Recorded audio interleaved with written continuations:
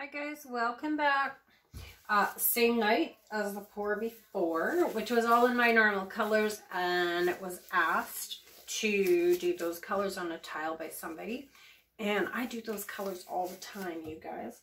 So let's switch it up a little bit. So my puddle is huge for one. Um, and it is just a scoop up of basically everything I used in the last puddle and pour.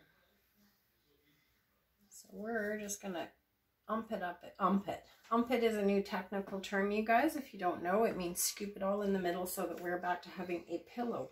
Ump it. Ump it up. Yeah, you pour, you're going to learn lots with me tonight, you guys. so let's pick some different colors. Ooh. I'm going to use some of the similar, some of the same. So this is my Amsterdam White mixed with Decor Satin Enamel.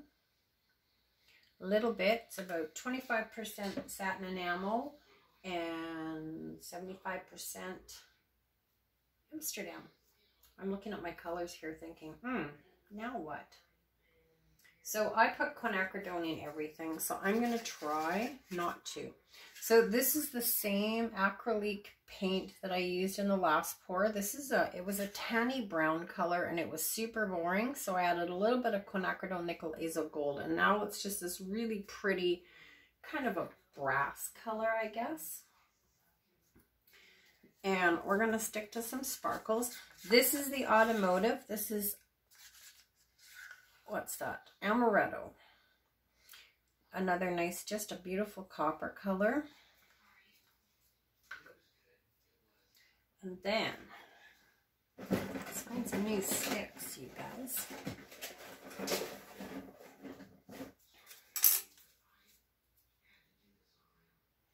So this is Pebeo uh, it's called red blue.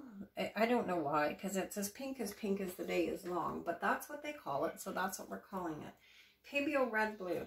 This is TLP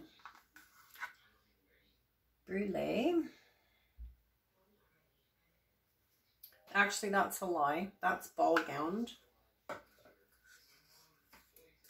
And this is now Brulee.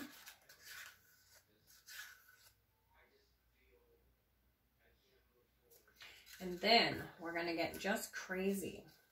So this is the Acryliqe brand. There's no sense showing you the label because you cannot see. But this is fuchsia. I'm going to use it straight out of the bottle. I don't mix it with any pouring medium. I use it straight up. And then this is the same Acryliqe brand. This is their neon pink. So I've used these brands of paints quite frequently. Um, and they're just fine, especially on these tiles and smaller pieces. And I have actually used them on some bigger pieces. I have no problem with them whatsoever. Okay, black cell mix, my friends. And then we're going to blow this out. All right, here we go.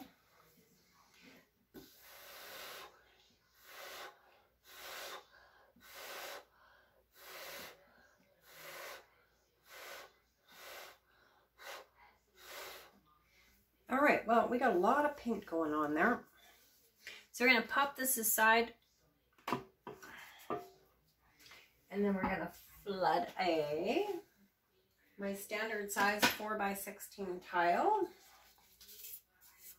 It was super fun. I did a quite a large oval canvas for a Christmas gift. And it was super fun to paint on canvas again. Um, yeah, it was. I got some goo on this. Excuse me while I scrape off the bits I missed. All right, let's flood this. We're going to flood again with black. I bought two gallons of the black onyx, and so everything I pour for the next little while may be on a black base.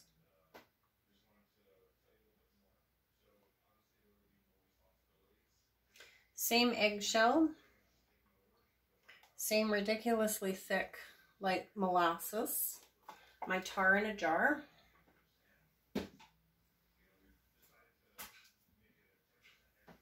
All right, look at this color. Yowza. All right, so we're going to just do the same as always. Scoop and transfer.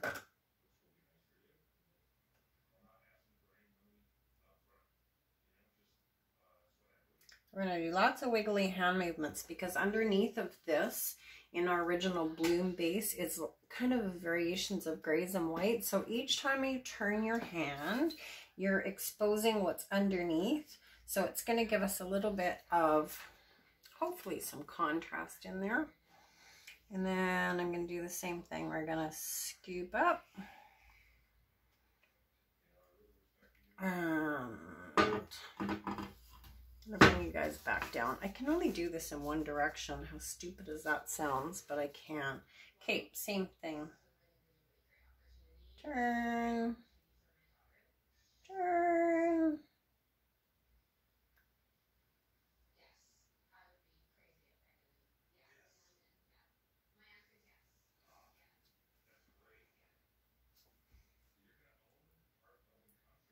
Hmm.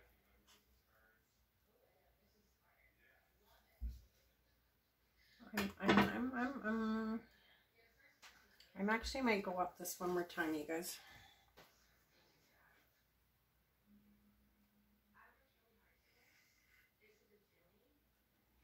And I'm going to come in right here and I'm going to push really hard and just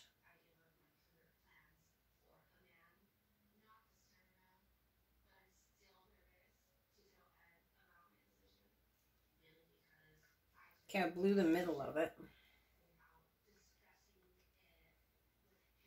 All right, well, we're going to fix that now.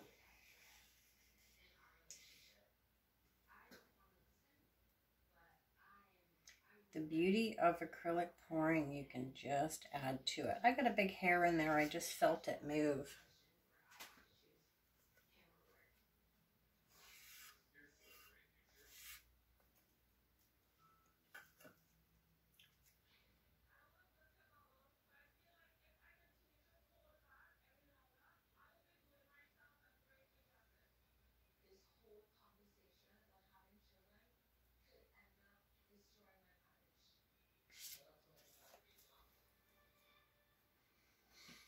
Holy moly, you guys, that's pretty great.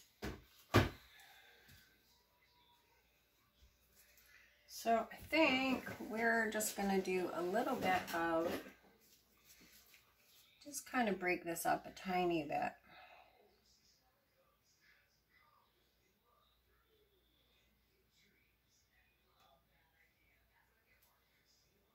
Oh, look at that. That was perfect. I got the hair. All right, let's spin it.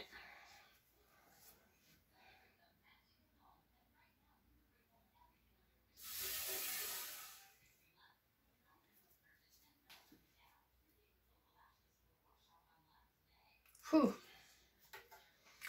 Bright, bright, bright, you guys.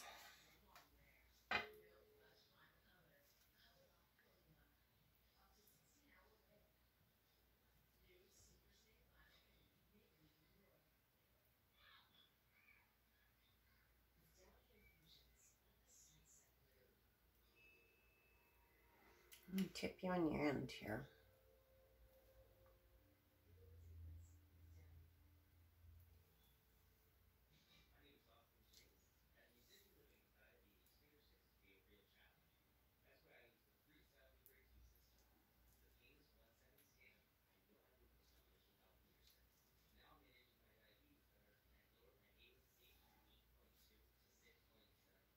So I might do the same as I've been doing. I've been working in layers where I tip a lot of this off and then I add to it. So this just becomes the layer underneath as pretty as it is. So I'm going to really, really stretch a lot of this off.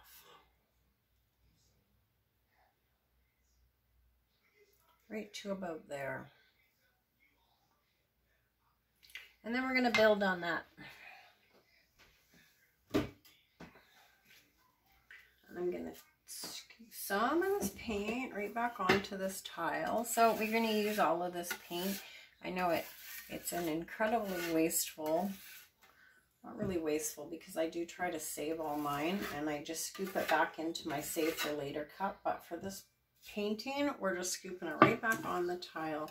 And then we're going to put hopefully a lighter, a lighter bit. I forgot my technical term that I used last puddle.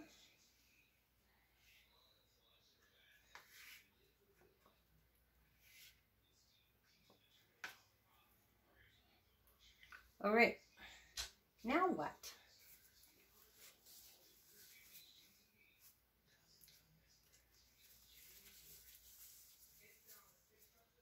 Bubble.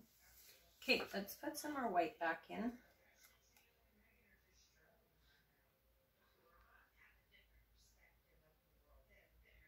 Lots of white in.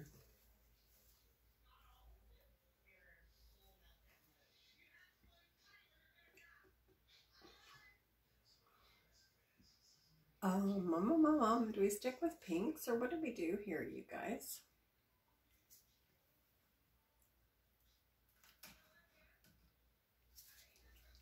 Okay, let's do the Acryliqe brand Fuchsia.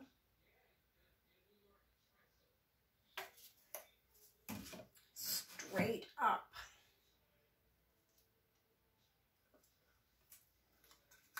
We'll do the same colors in a different order. This was Brûlée.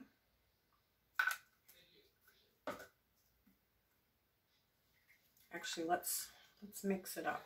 This is Payne's Gray, Liquitex Payne's Gray.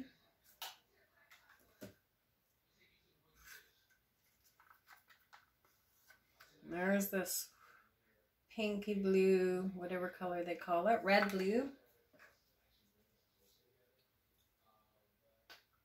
black cell mix.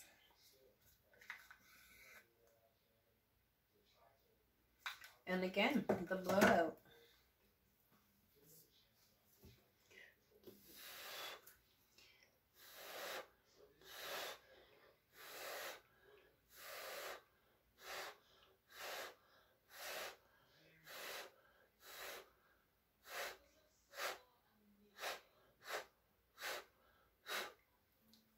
Okay, I gave it a couple extra little puffs there just to try to expose a little bit more of this white from underneath.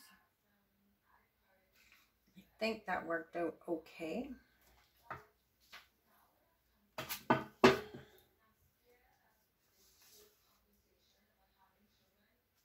All right, let's do some more picking up.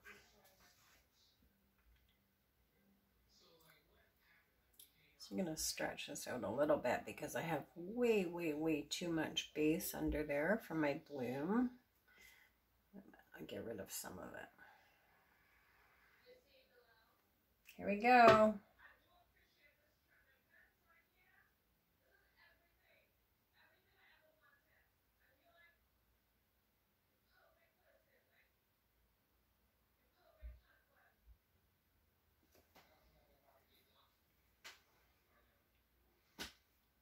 Turn you guys around, move you back over. Same thing.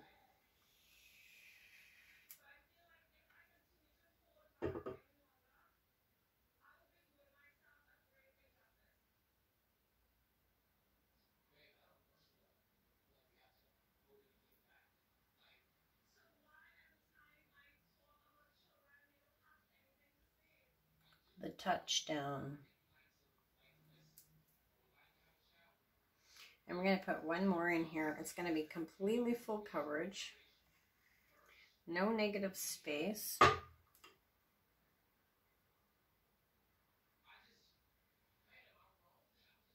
I'm going to come in over here.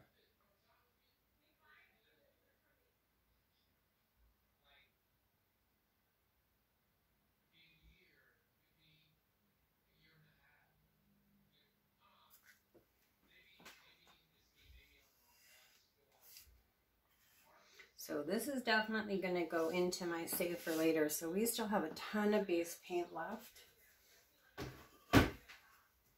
All right, you guys, let's do this.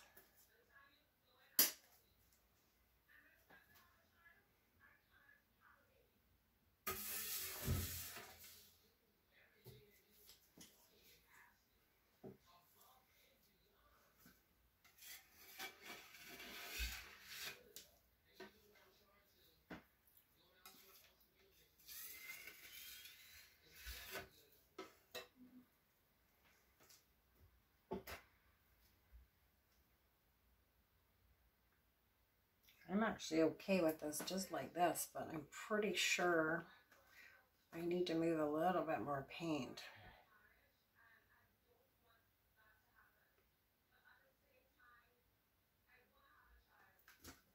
Not much.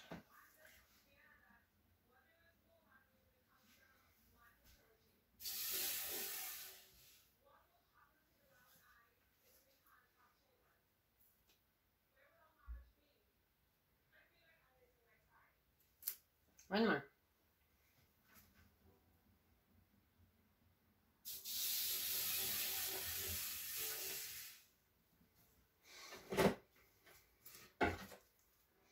I think we're done again, you guys. So I like all the weird little lines that we got from when we when we deposited our paint. I just touched down along the way. So that's what creates this fun little pattern. I wish this wasn't quite as white. But it's all in all, it's pretty fun. It's pretty bright. I'm to leave you for a second and then I'll bring you down.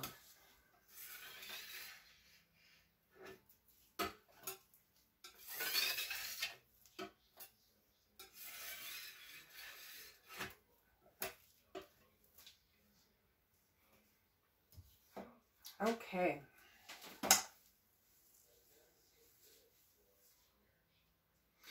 My instinct tells me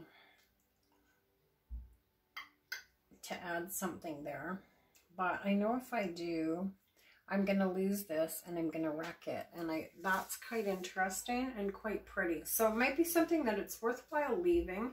If I absolutely hate the white later, I can just go back in with just a really light wash of paint and just soften that. I don't hate it. I absolutely do not hate it, but it's a little bit stark. All right, let's get you down. Okay, I'm going to put you on hold for just a second. Okay, guys, we're back. And if you don't like pink, you're not going to like this because there's definitely, it's definitely pink. So I'm going to hit the focus lock, same as always, and then we'll take a closer look at some of these funky little patterns. Yeah, see, it didn't change very much. That's the colors it is. All right, let's go. Oh, focus, focus. So it has some really pretty little areas.